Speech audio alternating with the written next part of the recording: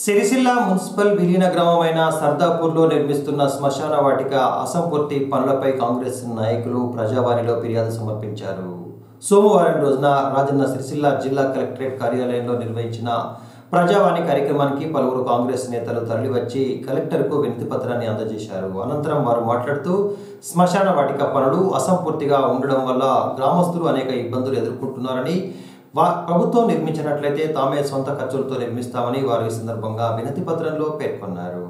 ఈరోజు సిరిసిల్ల జిల్లా కలెక్టర్ ఆఫీస్లో ప్రజావాణి కార్యక్రమంలో వినతి పత్రం ఇవ్వడం జరిగింది.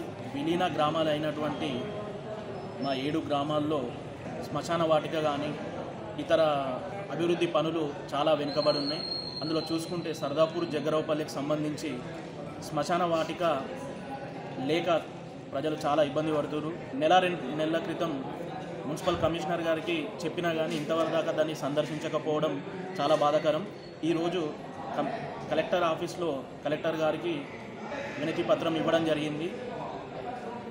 లేని ఏడల ఈ నెల ఆఖరులోగా పనులు చేపట్టకపోతే మా కాంగ్రెస్ పార్టీ తరపున గ్రామశాఖ తరపున మేము పనులు చేపడతాం. అభివృద్ధి శ్మశాన వాటిక పనులు చేపడతామని తెలియజేస్తున్నాం ఎలా అంటే వివిధ రకాల కార్యక్రమ నిరసన కార్యక్రమాలు చేపట్టుకుంటూ భిక్షాటన చేసి అటువంటి శ్మశాన వాటిక పనులను మేము ప్రారంభిస్తాం ముందుకు తీసుకుపోతామని ఈ ద్వారా తెలియజేయడం జరుగుతుంది.